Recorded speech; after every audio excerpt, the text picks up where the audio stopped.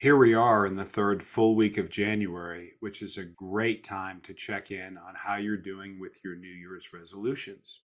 You may be hitting on all cylinders and developing habits that you think are important to move your career forward.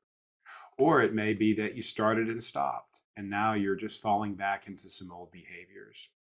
I'm going to share with you today three keys to ensuring that your New Year's resolutions become habits. The first and most important is to pay attention to the 20 slash 200 rule, which states that it takes at least 20 times of doing something new before it starts to feel comfortable, and at least 200 times for it to become a habit. That means if you start a new habit that's daily on the 1st of January, it's going to take until late July before doing that becomes a habit for you. So, as you embark or re embark on implementing your New Year's resolutions, keep the 20 slash 200 rule in, in, in mind. One thing that you can do is find a way to keep track of how many that you're doing.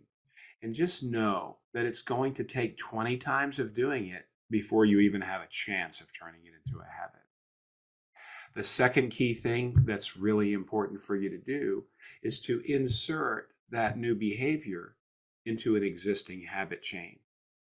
Let's say, for example, that you decide that it would be really good for your leadership to find ways to acknowledge people in your company more regularly for their contributions. One thing that you could do is every morning when you brush your teeth, you could have a note right on your mirror that says, Who do I want to acknowledge today?